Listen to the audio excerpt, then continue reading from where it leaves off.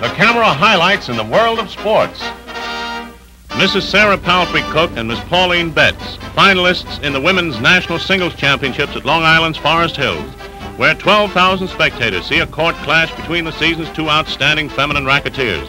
And a greater contrast in tournament tennis would be hard to find. For as a two-time runner-up to the veteran Helen Jacobs, Mrs. Cooke has been in big time for 14 years while on the opposite side of the net is the young lady whose tournament strides this season have brought her to her debut as a national singles finalist. This then is the background, disclosing expected results as Mrs. Cooke wades through the match to take the national singles title by set scores of 7-5 and 6-2. The first Eastern woman to become America's Queen of the Courts in 33 years.